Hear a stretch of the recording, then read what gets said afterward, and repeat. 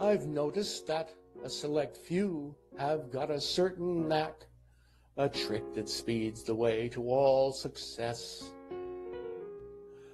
No matter what my other gifts, it's a secret that I lack. And until I get it right, my life will be a mess. The problem I face every day is what do I do with my arms? They just hang there getting in the way, and the whole game's getting old. If you gesture too much, you look freaking crazy. Fold them, you're distant and cold. Stick them in your pockets, well, now you look lazy or like a person who'll never be bold. The next the cinch, look left or right, but what do you do with your arms? I can puff my chest, hold my stomach tight, but even my doctor calls my upper arms humorous.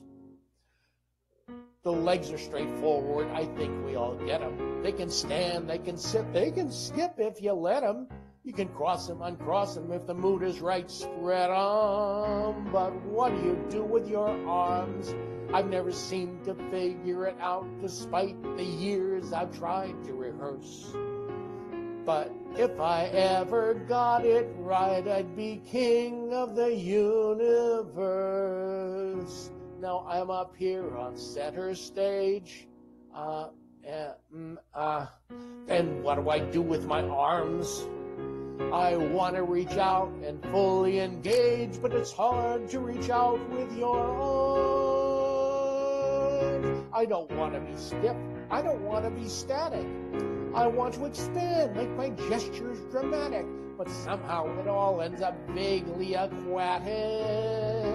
What am I doing wrong with my arms? I've taken up knitting and logged into swimming. I've taken up smoking. I've taken up booze. I'm bobbing for apples, tried getting arrested, surrounded myself with Italians and Jews. I've taken up praying and hitting pinatas. The YMCA dance, the tomahawk chop.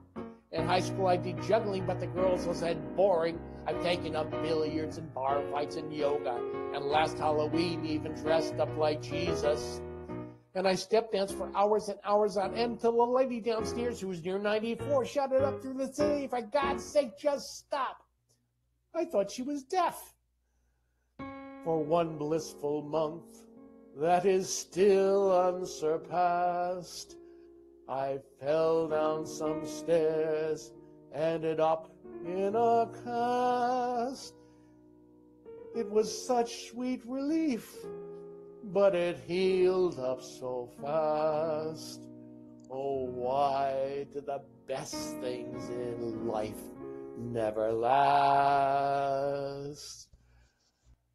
I know that I could rule the lands if I knew what to do with my arms.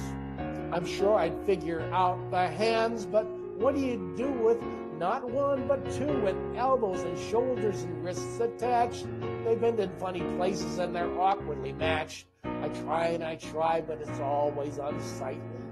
No matter what, it all comes out wrong. I guess I'll give up and just wrap them tightly around you all long.